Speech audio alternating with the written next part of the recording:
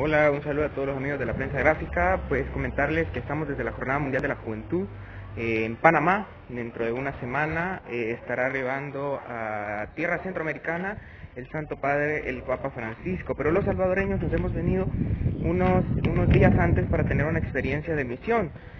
Cierto que lo hacemos en nuestras parroquias, lo hacemos en nuestras comunidades, pero también eh, la palabra de Dios nos invita a dejar las fronteras. Entonces nosotros estamos acá, desde la diócesis de Colón, Cunayala, está eh, a unos 45 minutos aproximadamente de Ciudad de Panamá, donde alrededor de 800 salvadoreños estamos viviendo esta experiencia de prejornada, donde nos estamos preparando para la visita del Santo Padre, pero también nosotros estamos llegando a las personas pues que más necesitan la palabra de Dios. Entonces estamos ahorita teniendo ese encuentro con las familias, con la cultura, con la gastronomía, realmente dando a conocer la figura de Monseñor Romero, que los panameños lo aman, me atrevería a decir que muchísimo más que los salvadoreños.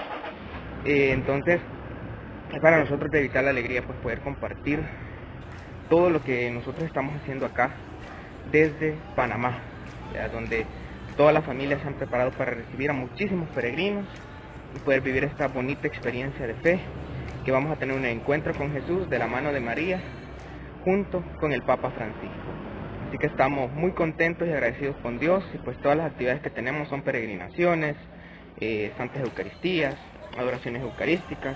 O sea, tenemos muchísimas actividades que vamos haciendo pues a lo largo de todos estos días. El día de ahora, como les comento, nos, nos, tocaba pues visitar un poco las familias, las casas, para pues, poder eh, tener un, una mejor, un mayor encuentro ¿no? con las familias panameñas. Un saludo para ustedes y desde acá estamos rezando por todos.